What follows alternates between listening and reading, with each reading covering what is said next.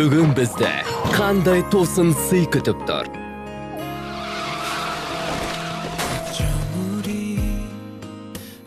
күтпеген кездесулер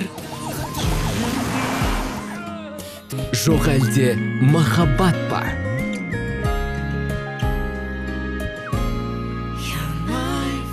үздік корей телехикаясы махаббатым гольф әлемнің түкпір-түкпірінде тұратын адамдардың сүйікті ойынына айналып үлгерді. Бұл спорт түріне тек ауқатты адамдар ғана әуес деген пікір қаншалықты шындыққа сай. Гольфпен айналысудың қандай артықшылықтары бар? Әріптесім бұл сұрақтардың жауабын анықтап қайтты. Гольф әлемнің дамыған елдері жаппай айналысатын спорт түрі. Біздің мемлекетімізде де бұл ойын қарқынды дамып келеді. Гольф ауқатты адамдардың ермегі деген пікір қалыптасқан. Бұл ойды жоққа шығаруға да болмас. Бұған айқын дәлел гольф сайысында өз бағын сынауға келген кәсіпкер ян симатам. Чехиялық бизнесменді бұл спорт түріне ата анасы баулыған екен. Через родителей. Э, Родители играли. гольфке деген қызығушылығымды ата анам оятты. Мен де оларға қосылып бұл спортпен әуестене бастадым. Жиі ойнағым келеді. Алайда уақыт табыла бермейді. Әдетте демалыс сайын ойнаймын. Және өз үйімде чехияда болғанда гольфке көп уақыт бөлуге тырысамын.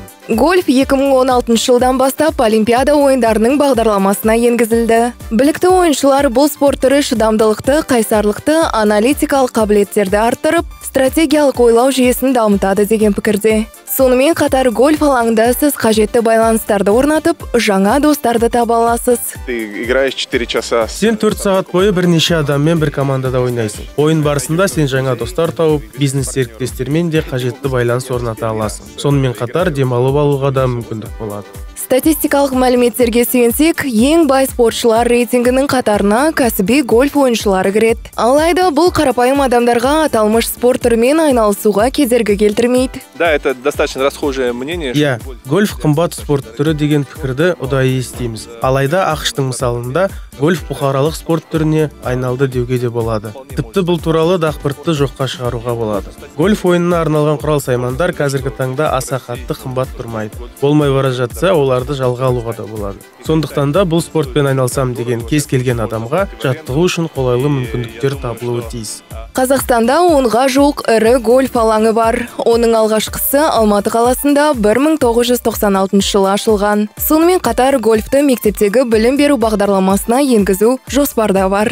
Осыған қарап бұл спорт түрі елімізде қарқынды дамуда деп сенімді айтуға болады. Жадыра жылдыбаева темірбек нұғманов хедлайнер